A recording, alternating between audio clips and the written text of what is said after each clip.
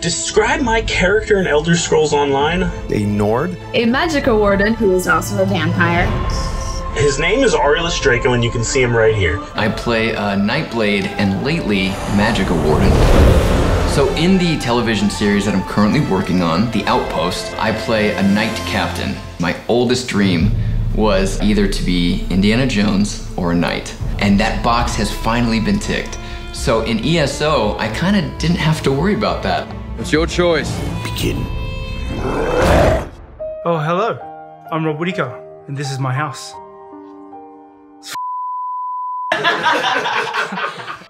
so during the day, I'm an MMA fighter. I'm learning how to better my attacks and, and beat my opponents. But you know, at night when I'm playing with my friends on ESO, I play a tank role.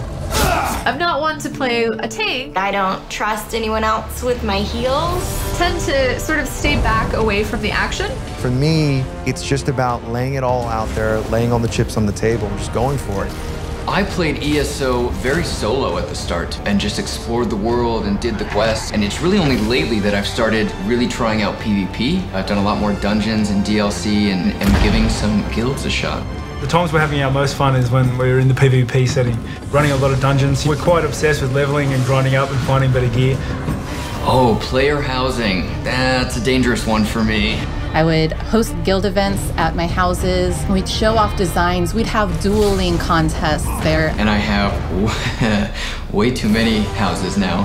And I literally play and I tell myself, okay, someday I'm gonna have this portion of this house in my real home and it's it's been a really kind of relaxing aspect of the game that I didn't expect to fall into. There is plenty of times I just go to my little manor and sit in a big chair and just sit there.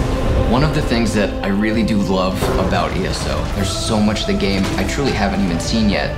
I've spent so much time in this world. It's awesome. It's our game. It's your game. You play how you want to play.